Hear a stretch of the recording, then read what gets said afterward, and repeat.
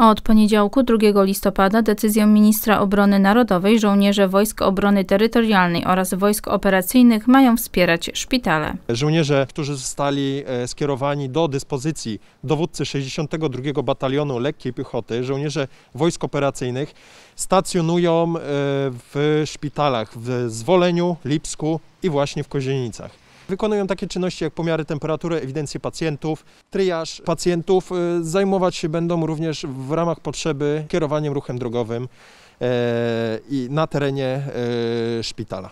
Generalnie żołnierze mają wspomóc działanie placówek i odciążyć pracowników szpitala, którzy mogą być przesunięci do innych działań. Żołnierze wojsk operacyjnych będą służyli e, od poniedziałku do piątku w systemie dwuzmianowym w zależności od potrzeb, a e, radomscy terytorialsi będą wspierać e, działania e, wymienionych przeze mnie szpitali w weekendy i również w zależności od potrzeb, również na tygodniu. Jak poinformował nas Michał Marczyk, w zależności od potrzeb i dalszych dyspozycji przełożonych, żołnierze będą wspierać kolejne szpitale w regionie radomskim.